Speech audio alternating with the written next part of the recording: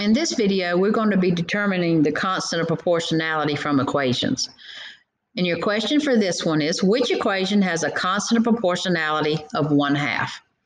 So in the previous video, we knew that this one right here, we're going to put A here. A. And in that one, we know that that constant of proportionality is 1 eighth. So it's not A. So we can cancel that out.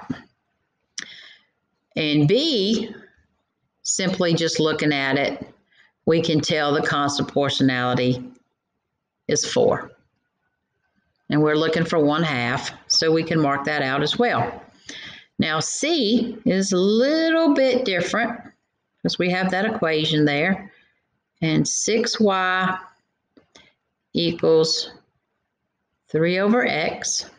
All right, and we know that our equation for a constant of proportionality is y equals kx.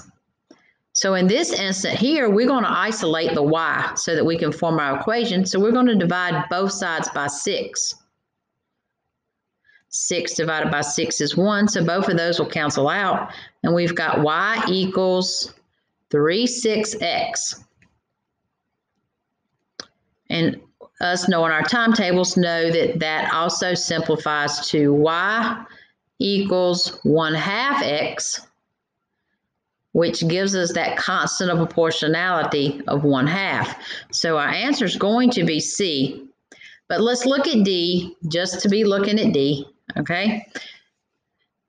D says that we have 3y equals 9x. And here we're wanting to isolate the y, so we're going to divide by 3. What you do to one side, you do to the other. 3 divided by 3 is 1, so that cancels out.